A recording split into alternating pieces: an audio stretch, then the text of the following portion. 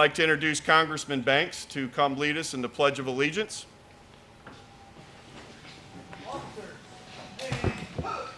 Around here, we support our law enforcement and we respect and stand for our flag. So please join me in pledging allegiance. I pledge allegiance to the flag of the United States of America and to the republic for which it stands, one nation, under God, indivisible, with liberty and justice for all. Officers, parade, rest, at ease. Well, I'm, I'm, I'm very honored uh, to be here today for this cause, and from time to time, as your congressman, you can take a seat. Um, from time to time, as your congressman, I get to do something uh, uh, special, and uh, this this occasion calls for exactly that. What we're here today to do. So last week, I uh, submitted for the congressional record, uh, so that forever we can remember what happens here today, and it'll be recorded in the history of our country in the congressional record. I submitted the following uh, entry that I'm going to read to you today. Madam Speaker, I rise today to honor the life of Sergeant Joseph A. Cox, Jr. of Fort Wayne, Indiana. Four, four plus years ago, tragedy struck when on Sunday, February 12, 2017, Joe died unexpectedly while on duty. Prior to joining law enforcement, Joe was a combat veteran of the United States Marine Corps. Upon returning to civilian life, Cox joined the Allen County Sheriff's Department, where he would go on to serve for 19 years. As a sergeant, Joe, Joe served in the Confinement Division, Communications Dispatch Center, Civil, Warrants, and Patrol Divisions. He was also a member of the Honor Guard, the SWAT team, and was a handler to his beloved canine partner, Gunny. In addition to his work in law enforcement, Joe was an active member of his community, the consummate family man, and a devout Christian. He was a member of Blackhawk Ministries, where he participated in programs Double Exposure and Marriage Matters. He also volunteered with the Juvenile Justice Ministry of Youth for Christ. Today, we honor Joe's memory by way of the Sergeant Joseph A. Cox Jr. Memorial Parkway, a roadway serving an area where Joe patrolled for nearly 20 years. This record is a testament to Joe and his peerless devotion to his family, community, and to his country. He is missed dearly and though he is no longer with us, his legacy of service and selflessness endures. Uh, I submitted this to the congressional record, uh, so it will always, what, what happens here today will always be remembered, and I want to present this. If the family would like to join me, I'd like to hand this over to you. All right, well, on, be- on their behalf, I'll, I'll give it to you. Thank you, God bless. Thank you Thank you very much. Thank you, Congressman Banks. Thank you, Congressman Banks, both for your service and your words today. Good afternoon. My name is Adam Mildred, and I had the honor of working with Joe professionally and with Mrs. Diana Cox and their family in seeking this designation. On their behalf, uh, thank you for joining in this celebration. Now, there were several people who contributed uh, to this project.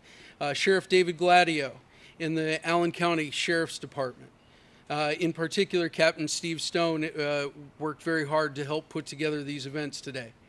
Allen County Commissioners Beck, Brown, and Peters. Mayor Steve McMichael and the New Haven Board of Works. James Ball, Mitch Harper, Mitch McKinney, Zach Moore of the New Haven Police Department, Tim Smith, and the City of Fort Wayne Board of Works, uh, and in particular Kyle Winling, Bruce Razor, and Johnny Snyder, who created this great sign, which you'll see here in a little bit. But one of the things you'll notice when you look at this sign, just as that sign shows Joe looking upward, everyone here that knew Joe knows he would insist that these honors be directed towards his creator.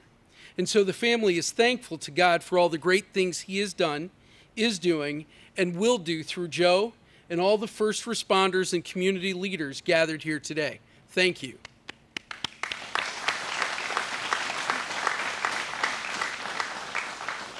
Now, joining us today, uh, representing Allen County, is Allen County Commissioner Nelson Peters with a proclamation.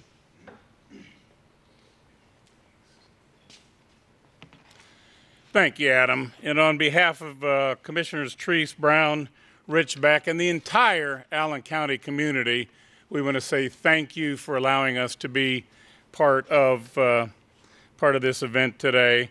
And uh, to the Cox family, thank you for giving us Joe.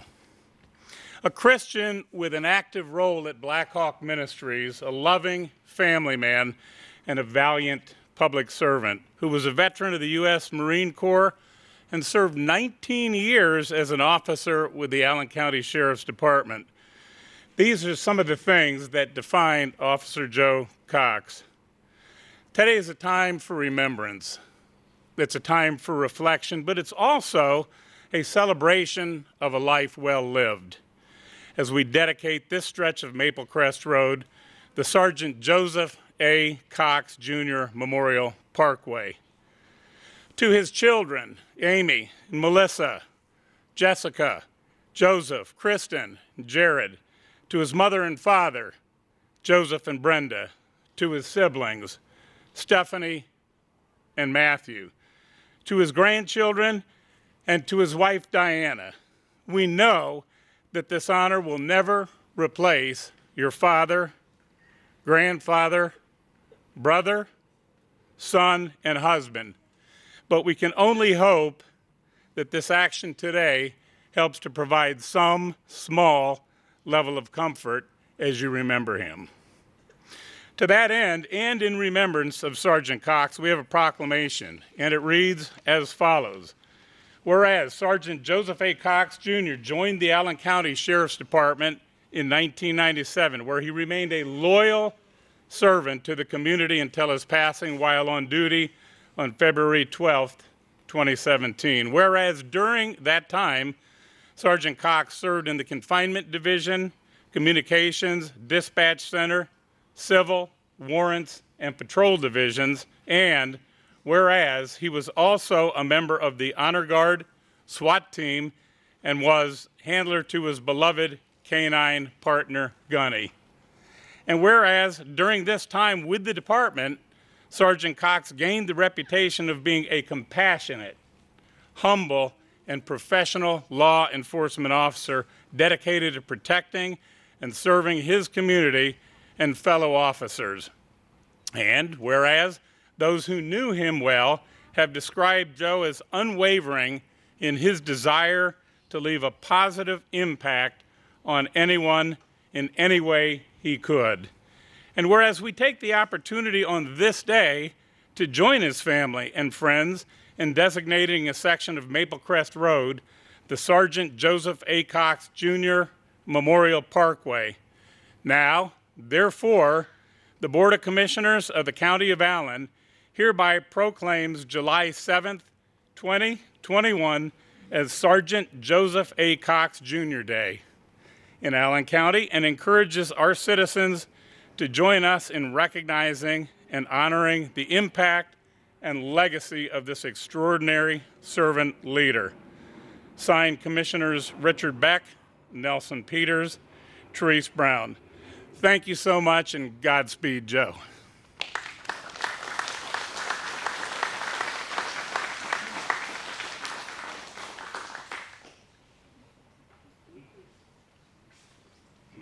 Thank you, Commissioner. And now, yep. And now with uh, a proclamation representing the City of Fort Wayne Board of Works is the chairman uh, of that board, uh, Shan Gunawardena, with a uh, proclamation from Mayor Henry. Thank you very much, Adam. Unfortunately, Mayor Henry was not able to be here today, but on behalf of the mayor, I'm very privileged and honored to be here today and be a part of this occasion. I hereby would like to read the proclamation from Mayor Henry, which states as such. Whereas Sergeant Joseph A. Cox, Jr. died unexpectedly while on duty with the Allen County Sheriff's Department on February 12, 2017, after a lifetime of public service. And whereas Sergeant Cox was an active member of Blackhawk Ministries and was also a volunteer with Youth for Christ in their Juvenile Justice Ministry. He was a U.S. Marine Corps veteran and served the Allen County Sheriff's Department for 19 years, rising to the rank of sergeant in 2015. Sergeant Cox was a leader within his department, serving in the Confinement, Communications, Civil Warrants, and Patrols Division. He also served as a member of the Honor Guard, SWAT, and as a firearms instructor and canine handler. And whereas it is appropriate for the community in which Sergeant Joseph A. Cox Jr. lived, served, and protected to mark his life in a way that reminds his family, those he touched, future police officers, and those of future generations of his service and devotion.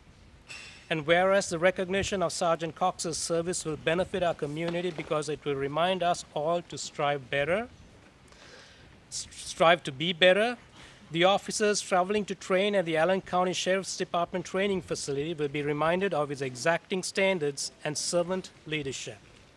The community will be perpetually reminded of his commitment to them. Our young people will hopefully be inspired to be like Joe because he ref- reflects what is best in us. And finally, whereas Sergeant Cox's first watch over our community was July 7, 1997, it is fitting and proper that this recognition be on the anniversary of the commencement of his service to Allen County. Now, therefore, Thomas C. Henry, Mayor of the City of Fort Wayne, Indiana, does hereby proclaim July 7, 2021 as Sergeant Joseph A. Cox Jr. Day in Fort Wayne, encouraging all citizens to duly note, note this occasion.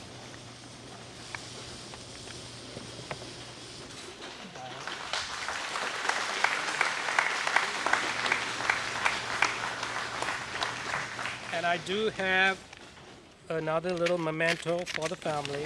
This is a, a replica of the sign that will be posted on Maplecrest Road and will hopefully serve as a keepsake for the family.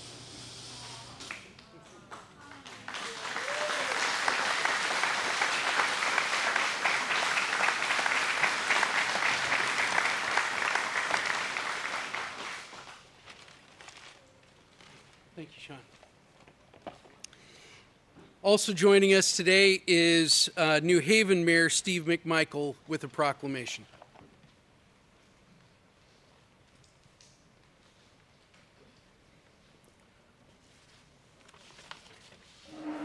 It is great on, with great honor I stand here today as New Haven's mayor, the city that Joe called home, a community that's proud of Sergeant Cox and the entire family.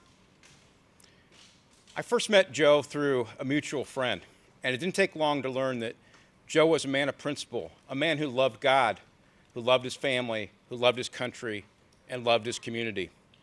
On behalf of the entire New Haven community, I can't tell you how proud we are of Joe and Joe's family and the contributions that continue through the legacy of Joe. With that, I have a proclamation from the city of New Haven. Whereas the people of New Haven are proud of native son Sergeant Joseph A. Cox, Jr.'s career of public service and ministry of community service, graduating from New Haven High School in 1987. He entered the service of our nation and served as a United States Marine until 1993. He then joined the Allen County Sheriff's Department in 1997, where his public service continued until his last watch on February 12, 2017. Whereas Joe invested himself in our community not only through his career of public service, but also through a significant ministry of community service. He served in a program called SOS, Saints on the Street, that mentored the urban homeless and had a passion for helping people build healthy marriages through the Marriage Matters ministry at Blackhawk Ministries.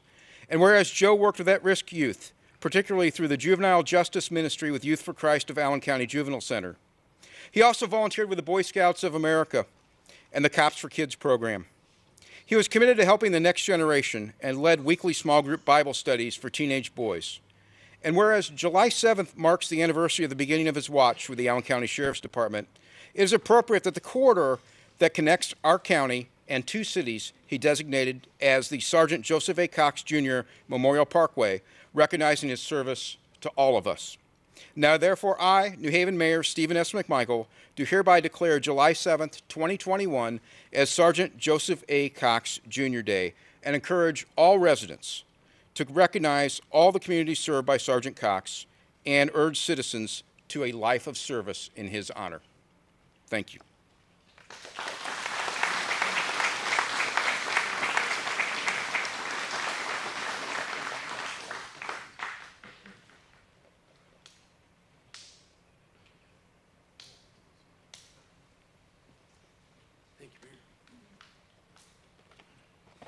And now with some final thoughts uh, from his beloved agency, the Allen County Sheriff's Department, uh, Chief Deputy Troy Hershberger.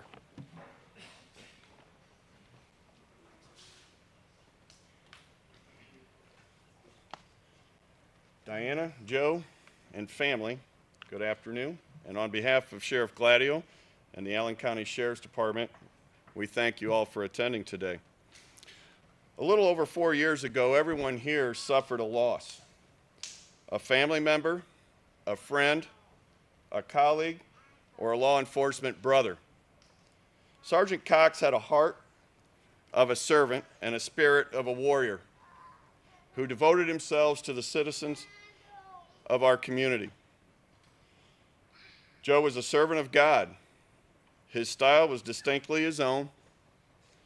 He had a voice which he utilized to proclaim the Word of God at home and at times to display his faith when needed professionally. All who knew Joe could readily see that he was a fearless testifier of the truth, intelligent in thought, a radiant personality who was unwavering in commitment and belief. Undoubtedly, he loved his family and always supported them with the moral teaching to love and support, which he supported us in the rain. Joe was a strong pillar on which his family could rely on for support. Joe had a love of country because he believed in it. He served it as a young man in the U.S. Marine Corps, as we've heard, and later in life for nearly 20 years with the Allen County Sheriff's Department. I was provided some words of wisdom that are attributed to Madam Chiang Kai-shek, called the sum total from an old friend several years ago. And it reads as follows We are what we do. If the President has taught us anything, it is that every cause brings its effect. Every action has a consequence. Good begets evil. This is the moral foundation of the universe. This precept applies to every man's life. Granted, the sun shines on saint and sinner alike, and too often the wicked seem to prosper. But I say the flourishing of the wicked is an illusion and a fantasy, for unceasingly life keeps a book on us all. In the end, we will be the sum total of all our actions. Character not, cannot be counterfeited, it can't be put on and cast off as if it were a garment. Life like the markings on wood, which are ingrained in the very heart of the tree, character requires time and nurture to grow and develop. Thus, day by day, we write our own destiny, for inexorably we become what we do. In the end, Joe represented that sum total, and as a result, our community has as well, by permanently naming the stretch of Maplecrest Road in his honor today. We thank him for that. Now I'd like to uh, conclude and turn this over to Joe's dad. He may come up.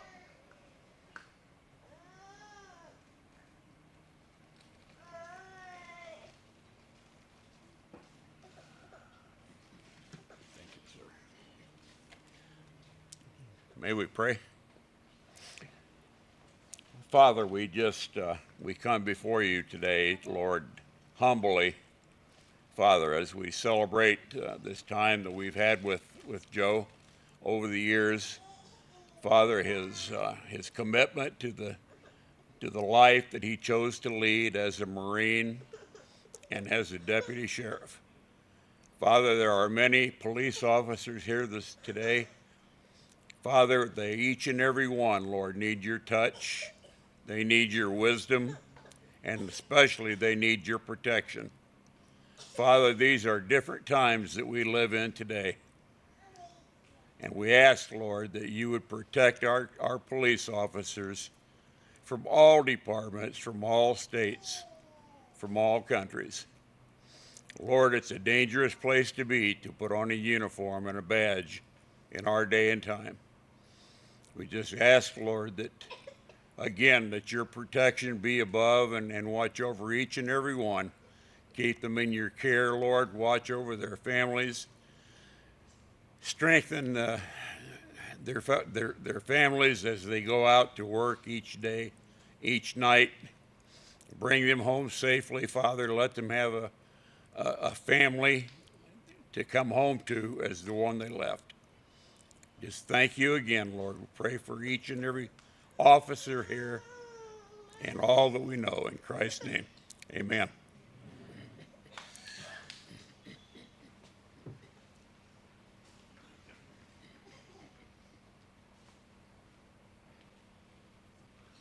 Thank you, Joe.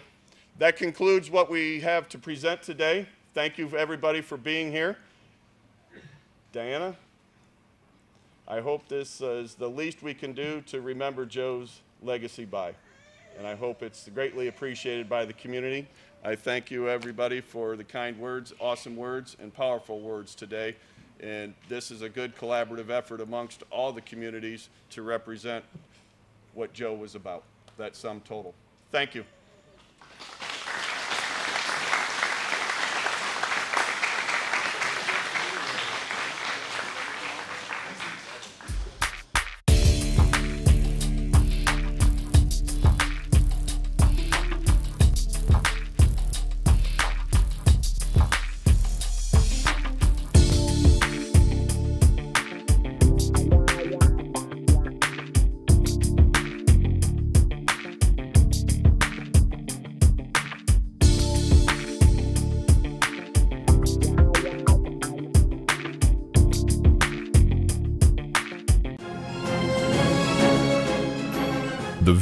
Views and opinions expressed do not necessarily represent those of Access Fort Wayne, the Allen County Public Library, or any other supporting group.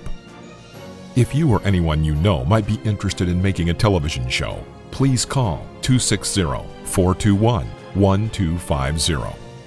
Access Fort Wayne is a department of the Allen County Public Library.